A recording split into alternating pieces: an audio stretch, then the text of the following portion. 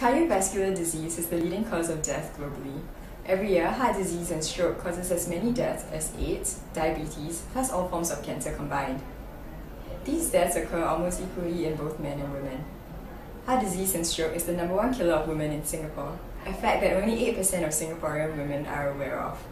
In 2007, heart disease and stroke accounted for 1 in 3 deaths in women in Singapore. Today we have with us Dr. Goh Ping Ping from the Department of Cardiology in Changi General Hospital. She is the official spokesperson for the Go Red for Women campaign, which seeks to increase women's awareness about heart health. She will share with us more about the importance of heart health and how women can play a more active role in protecting themselves from heart disease and stroke. Good afternoon, Dr. Goh. Good afternoon, I'm Dr. Goh Ping Ping. I'm the Chief of Cardiology in Changi General Hospital. In my daily work, I look after patients who have heart disease, many of whom have serious heart conditions such as heart attacks and heart failure. But uh, I'm also very interested in educating the public about the risk of heart disease and what somebody can do to prevent heart disease. Okay, so how do you get involved with Go Red for Women? Well, I have been involved in Go Red for Women for the past three years, and I first got involved uh, when someone from the Singapore Heart Foundation approached me to give a health talk to the public about heart disease. And from there, I realized that there is a knowledge gap, and there are many people uh, who are interested to find out more about heart disease uh, and how to prevent heart disease.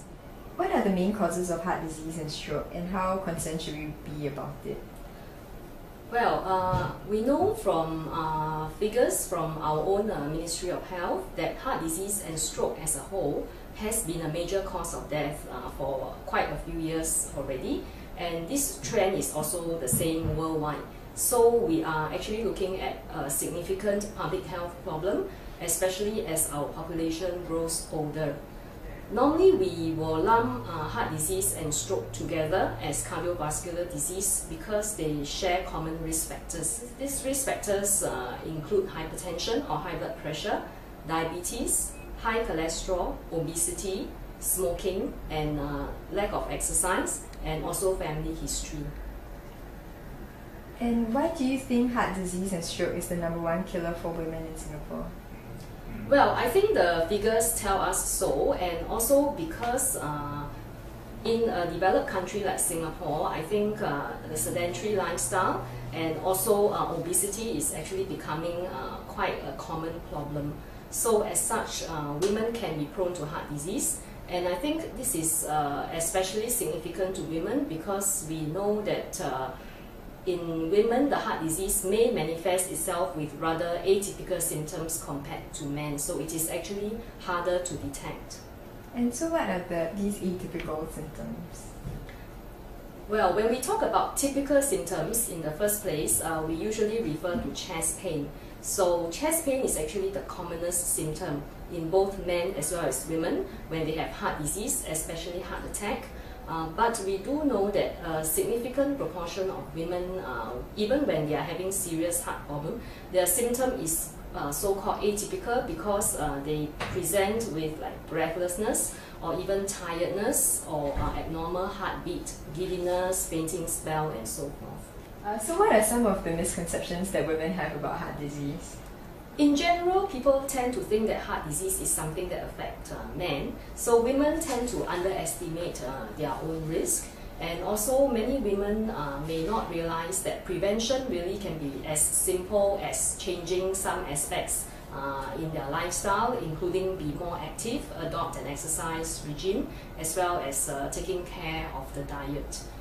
Um, can heart disease and stroke happen to anyone regardless of age? Uh, yes, it can happen to anyone regardless of age, although it gets more common as a person ages. So it is rather rare for men uh, below 50 years old and women below 60 years old to have heart disease.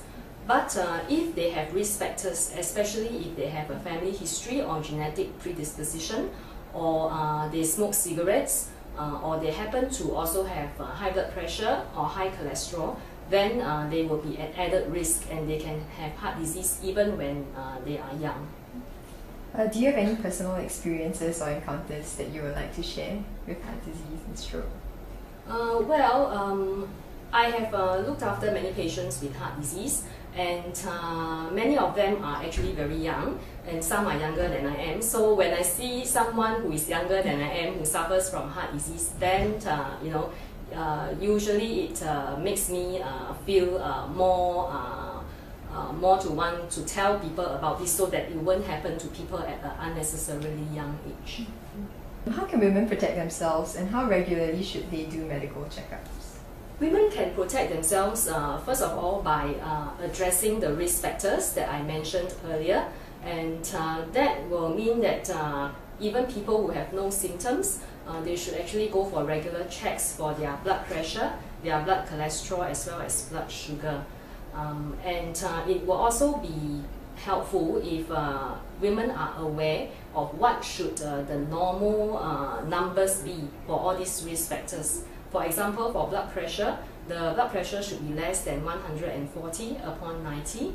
And uh, for uh, cholesterol, the, there is also a target level that uh, you know women should be aware of. Um, and uh, one of the very basic uh, risk factors really is obesity because obesity is closely related to many of these conditions that we mentioned. So uh, women should watch their weight very carefully and be aware of their body mass index. How can family and friends help women around them to protect against heart disease? Well, because uh, many of these risk factors really are related to our lifestyle, so I think uh, if people uh, around uh, women uh, take an interest also in their health and also uh, try to get them to engage in exercise, healthy diet, and so forth, then I think many women will be more uh, keen to adopt these lifestyle changes if, uh, if they know that it uh, uh, affects their loved ones and their loved ones are happy to see them adopt a more healthy lifestyle. Are there any avenues for people to find out more about women and heart health? Well, this Go Red for Women campaign is definitely one avenue that we hope will become a regular feature for women who want to find out more about heart disease. And uh, it is very fortunate that we are able to run this campaign over a fairly long period of time, starting as early as February and all the way up to May. So there will be a series of activities. Uh, we already had uh, a roadshow with health screening and uh, live demonstrations um, last week at Raffles Place. And this will be followed by other activities uh, targeted at different uh, sectors of the population, including a youth concert um, for the younger uh, people, uh, as well as uh, launch of our website uh, on Second Life to uh, help to educate the, the more IT savvy uh, uh, group. Then we will also be having roadshows at supermarkets to teach people more about reading food labels and choosing their food and so forth. Well, I would strongly encourage the audience to uh, take an interest in our activities. I'm sure they can find out more information on the Singapore Heart Foundation website and uh, do come by uh, to our roadshows um, to have a look uh, at uh, the exhibits and the messages and also uh, to take part in the health screening. If they have never uh, checked their blood pressure, cholesterol and so forth, then I think this is a very good opportunity to do so at our health screenings. Thank you, Dr. Goh, for helping us understand the issues revolving around women and heart health. Thank Thanks. We hope that you have gained a better understanding about heart disease and stroke to anyone at any time. So spread the word and let your friends and family know that they can play an active role in preventing heart disease and stroke. To participate in Go Red for Women 2009, visit www.littlereddress.com.sg.